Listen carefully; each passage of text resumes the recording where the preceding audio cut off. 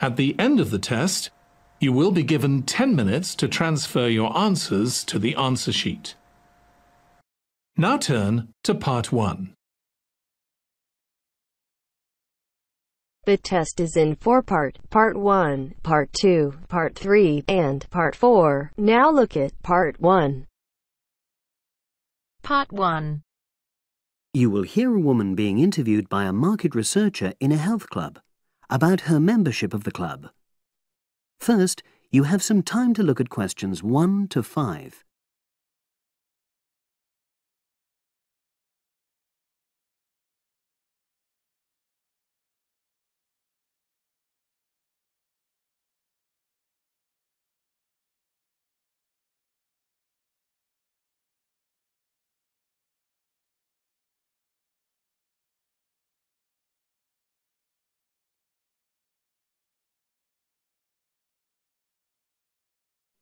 Now we shall begin.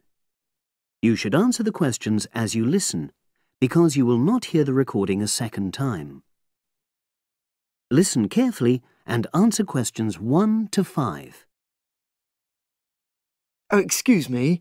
I wonder if you'd have the time to take part in some market research. Um, what's it about? About this club and your experiences and opinions about being a member. It'll take less than five minutes. Oh, OK then, as long as it's quick. Can I start by taking your name? It's Selina Thompson. Is that T H O M P S O N? Yes. Okay, great. Thanks. And what do you do for a living? Well, I'm an accountant, but I'm between jobs at the moment. I understand. But that's the job I'll put down on the form. And would you mind my asking which age group you fall into? Below 30, 31 to 50, and above? Over 50, I think we can safely say. Great, thanks. And which type of membership do you have? Sorry, I'm not sure what you mean. Do you mean how long of... No, is it a single person membership? Oh, right, no, it's a family membership. Thanks. And how long have you been a member? Ooh, let me see. Uh, I was certainly here five years ago, and it was probably two to three years more than that. Mm-hmm. Shall I put down eight? Oh, I remember now. It's nine, definitely. Sorry. no problem. I've got that. And the last question in this first part is what brought you to the club? Uh, sorry? Uh, how did you find out about the club? Did you see any ads? Well, I, I did actually. But I have to say, I wasn't really attracted to the club because of that. It was through word of mouth. So you were recommended by a friend? Actually, my doctor. I'd been suffering from high blood pressure, and he said the club was very supportive of people with that condition, so I signed up. Mm, great, thanks. Before you hear the rest of the conversation, you have some time to look at questions 6 to 10.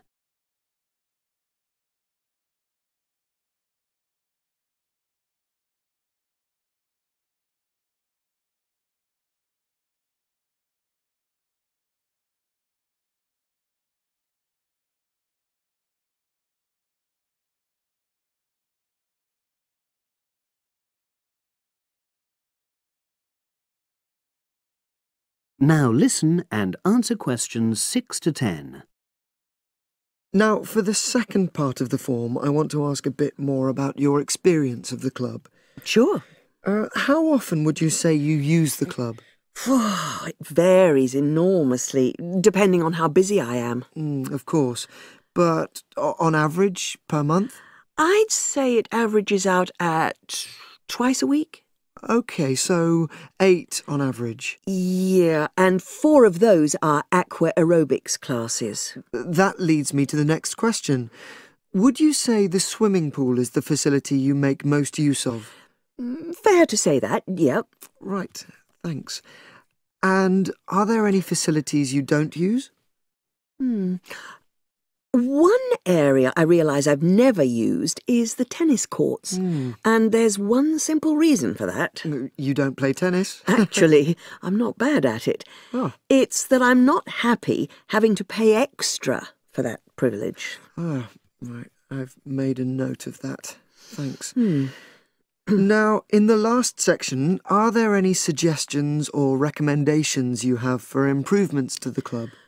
Only about health and fitness? Mm, Anything at all? Well, I'd like to see more social events. Ah, It isn't just a question of getting together for games or classes, but other things, you know. yes, sure. And another thing that I was thinking when I had my yoga class in the gym last night, we were all sweltering in the heat, was that I think they should put in, or, you know, uh, Air conditioning. uh, that's exactly what I mean. The rooms are really light and well designed, but they do need proper installations. sure. Well, I've made a note of that. Good. So, is there anything else you'd like to suggest? Uh, about quality of service, for example? Oh, everyone's very nice here. They couldn't be more friendly and helpful. Oh, but I tell you what, it's a shame the restaurant isn't open in the evening on Saturday. And Sunday as well, for that matter. Ah. So, the club should. You open it later on those days. Okay, well, thank you very much. That's all the questions I have.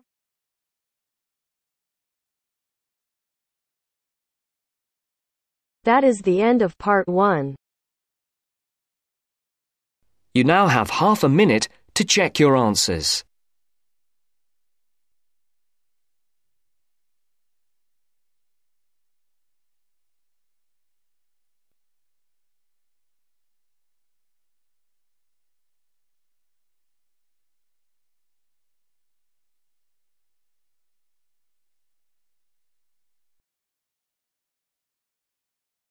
Now turns to part two. Part 2. You will hear a telephone conversation about opening a bank account. First, you have some time to look at questions 11 to 17.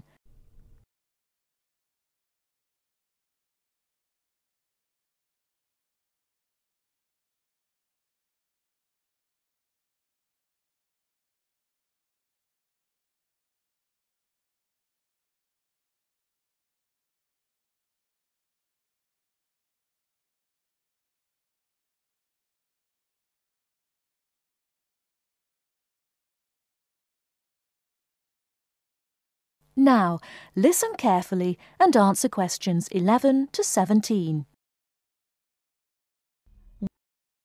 Expats Helpline, Terry Davies here. What can I do for you? Hello, Terry. I've been in this country for a while and I've just been offered a job in the city, so I think I'm going to need to open a bank account. I haven't had one before, so I'm wondering what papers I need.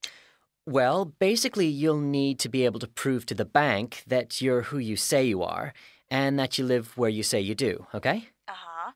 And for some banks, at least, that means you'll have to show them two separate pieces of identity. So I'll run through the list if you like. Yes, please. Okay. I'll bring it up on the screen. Let's see.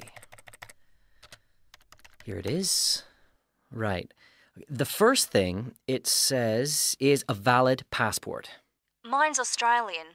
Yes, that would be fine, of course. The next one is a driving license, and again, one from your country would be okay. Then that's followed by birth certificate.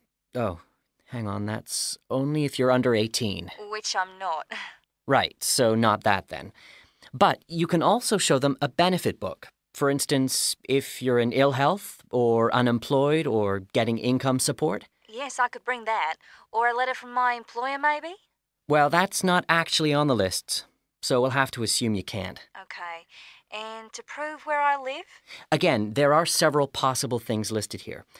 For instance, you could use a bill for council tax or something else for where you live, such as an insurance certificate. I've got one of those, somewhere among all my papers. But what about bills? Things like phone bills, I mean. As long as it has your address on it, yes, fine. So a bill for my mobile would do, would it? Uh, I'm afraid it would have to be for a fixed line phone. You could use other types of household bill, though, as long as you get them through the post. How about an electricity bill? That'll say where I live, won't it? If it's in your name and not that of a landlord, yes. It is, so I'll probably take that then. There's one other you might want to use a vehicle registration document. If you have a car or motorbike or something, of course. No, I haven't actually. Now, I believe there's a bank actually inside the commercial centre, and I might open an account there, seeing as how that's where I'll be every day. Yeah, that would seem to make sense. I know people who bank there. I actually read about it in a city guide. My cousin picked it up when he was here a couple of years ago, and I made a few notes. Do you mind if I run through them with you now, just to make sure the details haven't changed? Fine, go ahead. Okay, first question. It's still a branch of the Popular Bank, is it? The one with links to Australian banks? No, it's actually been taken over by another big banking group, the Savings Bank. It still seems quite popular, though, especially with people doing business in the Asia Pacific area. Hmm. And when is it open? Monday to Saturday? I'll have to check their website for that. Give me a second or two, will you? Sure. Right. I've got it. Customer service, and it's. just weekdays, I'm afraid. Does it say what their business hours are? I'm just looking for that. It's on a different page for some reason. I think there's been a change at some banks in the last year or so. Yeah, here it is. It's open from 9:30 in the morning till half past 3 in the afternoon. And it's on the top floor of the main centre building, is it? Next to the travel agency. That's where it used to be, but they've since moved it to a slightly bigger place. It's on the ground floor now. Oh. And one last thing on this. Um, I know most banks give incentives to young people to open accounts with them, but apparently this one didn't. Do you know if they're offering anything these days? I'll just check. I'm sure they'd say so on their new clients page if they were. No, there's nothing mentioned here. That's a pity. I was quite looking forward to getting my free gift. Before you hear the rest of the talk, you have some time to look at questions 18 to 20.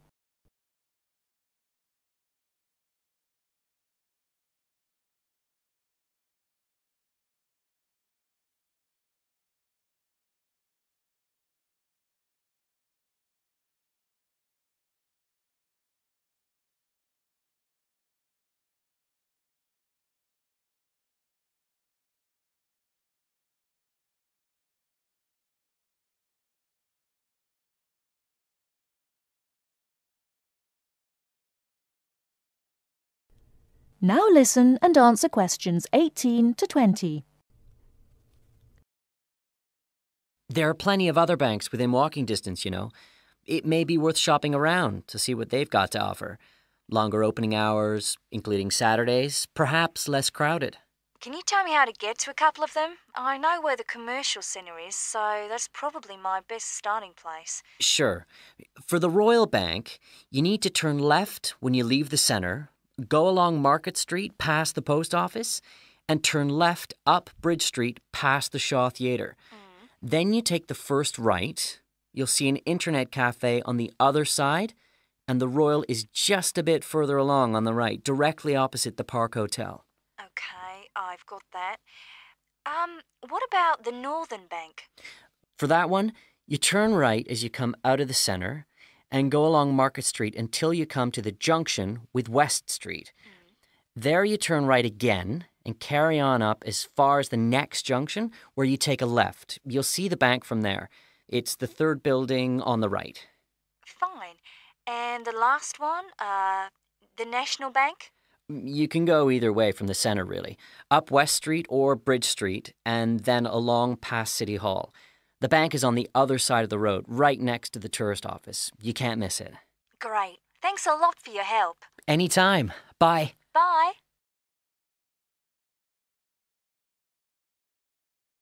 That is the end of part two.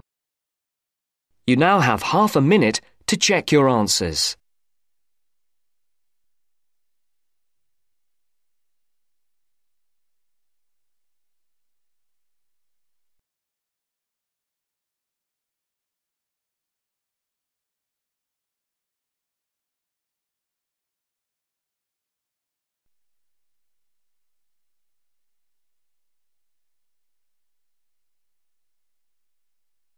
Now turns to part 3. Part 3. You are going to hear a lecture about the Miners Hotel. First, you have some time to look at questions 21 to 24.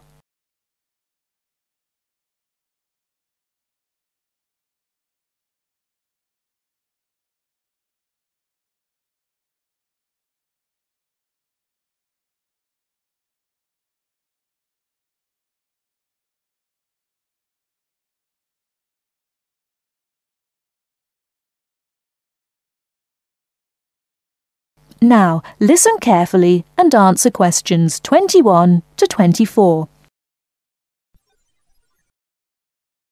Good evening and welcome to the Miner Hotel. We are pleased to have you as our guest. I will give you a brief information session to tell you everything you need to know to make this a pleasant stay. The Miner Hotel was built in the 1850s, during the Gold Rush period, also nicknaming our state the Golden State. People from all over the country and even from other countries came to seek their fortune here in these hills, creating cities overnight. In this city, many gold rush hotels soon opened up. This particular hotel was built in 1851 but was destroyed during an earthquake.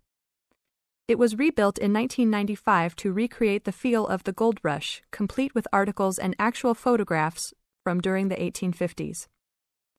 Our hotel is divided into two buildings, one called the Gold Tower and the other is named the Fortune Tower. You will be staying in the Fortune Tower on the 25th floor, complete with great views of the city. Your room is the best room in the hotel, complete with private living room and hot tub. Here is your room card. On the card it will say FT, meaning Fortune Tower. On the bottom of the card it will say 2515, the 25 stands for the 25th floor, and the 15 stands for the 15th room on that particular floor. Before you hear the rest of the talk, you have some time to look at questions 25 to 30.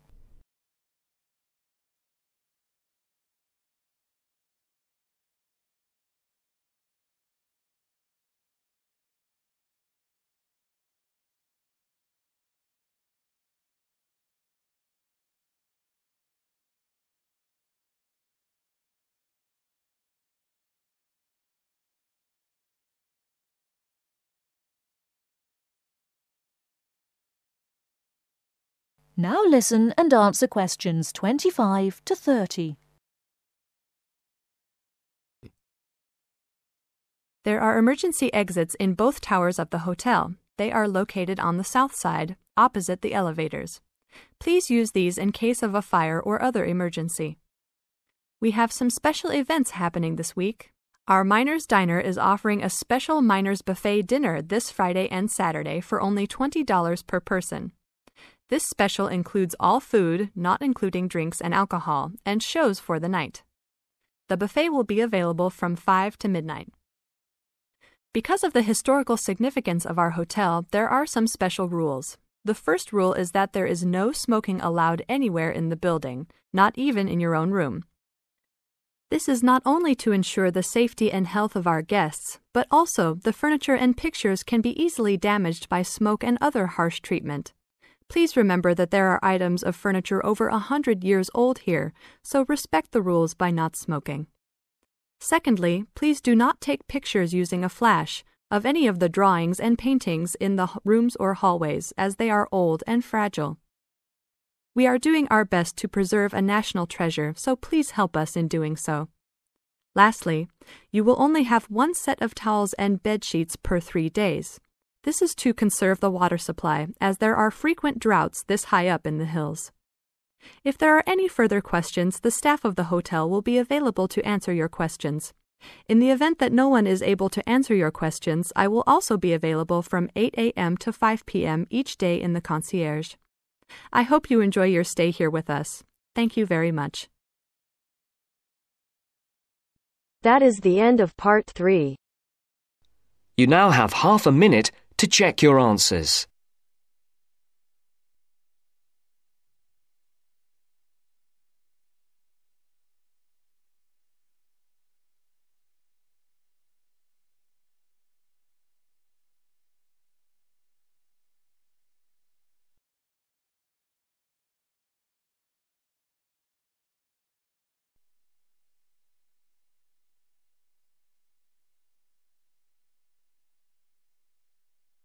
Now turns to part 4. Part 4. You are going to hear a talk about the tall ships race in Britain. First, you have some time to look at questions 31 to 40.